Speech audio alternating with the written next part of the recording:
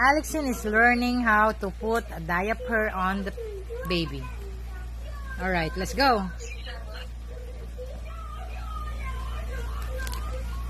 While daddy is watching on the video.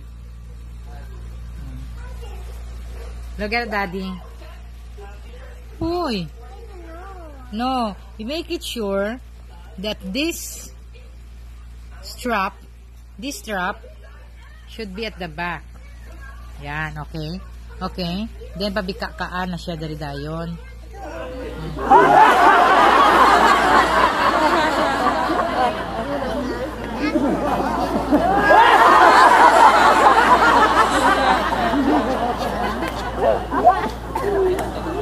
Cinco. Liftoff will start in T minus 10 seconds. 10, 9, 8, 7, 6, 5, 4, 3, 2, 1. We have ignition.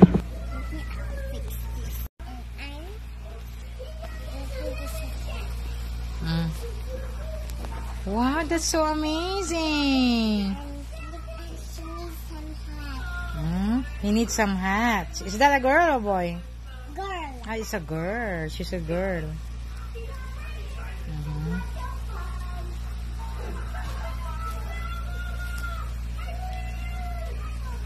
Ayan. Okay. Okay, what will you say to your viewers? Bye bye, guys. See you later. Okay. Alexine is learning how to swaddle the newborn baby girl. Baby girl. We're just practicing. Okay, ito na. Ito na, baby girl. This is the medium. Okay, naka-triangle na siya. Akyat-akyat dito. So, ano gani ito? O, na diri? O, na diri? O, ito? O, una, una, una. Una, una. Okay. Tapos, Tapos, ay, ka bright niya, Gidip. Ay, grabe. Fast learning. Learner. Sobra. Next. manakon kay daddy. Mana kay daddy. Next. Anong next? Ano next? Kasi makalimutin si mami. No. No. Do, di, doon pa. Hmm? Ay, Ah. Ganito lang pala. Tapos ganyan daw. Okay, para. And this, Gaya this one. Then, ayan. Doon na siya sa loob. Ayan! Yay! Daddy, she did it! She did it! And Daddy's teaching us how to swaddle the baby. It's so easy, really? Right? And Alexin is ready for uh, Ate Twinkle's baby! Sobra kasi yan, B, kasi malaki. Malaki yung ano, baby. Ito lang dyan. Dyan lang yan siya ilagay.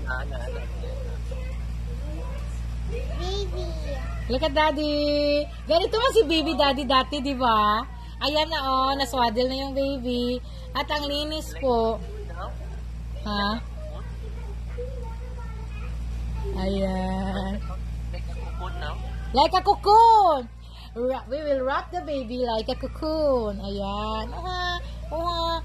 Because baby loves to be wrapped in a cocoon. Kasi sa tummy pa lang, para na silang cocoon. Right? Okay. Thank you, Daddy, for teaching us. Bye-bye. Bye bye. See you in our next vlog. Next vlog.